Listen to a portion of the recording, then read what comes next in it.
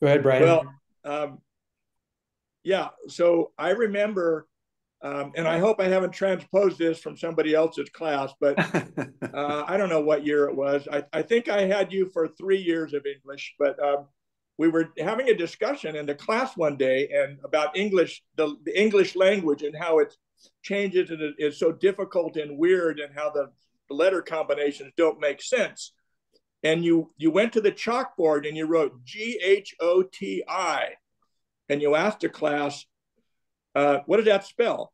So we all took guesses, Goaty, Gotti, whatever. And you said, "Nope, no, no, no, not even close.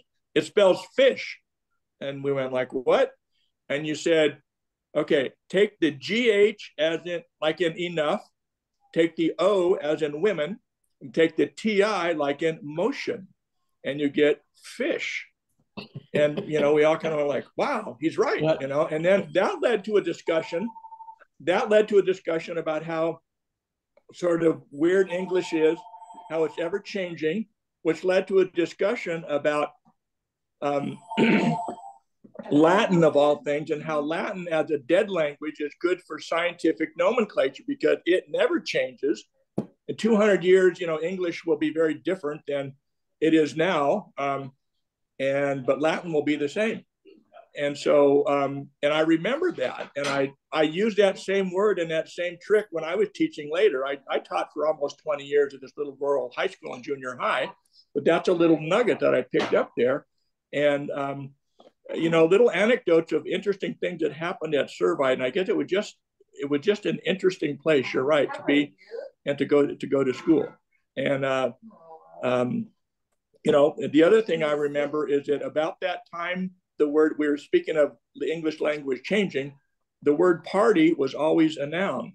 But about the time we were seniors or freshmen in high school, freshmen in college, party became a verb as yeah. well as a noun. And now I think it's used more accurate, more for the younger people. It's more of a verb than a noun. So that's just an example of all those kind of changes we were talking about. So that's that's that's my Servite story.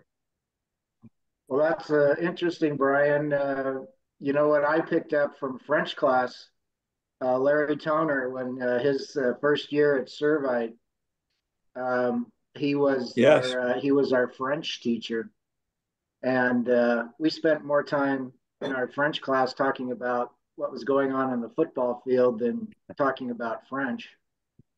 But but the little nugget that I picked up from from him was he wrote the word assume on the uh, chalkboard. Okay, you guys have all heard this one, but he did it in our French class. Mm-hmm. And then he said, Don't ever assume again, because you know what happens when you assume. And then he sliced it up. It makes an ass out of you and me. And I have uh, I have kept that little nugget in my uh, in my repertoire over the years as well.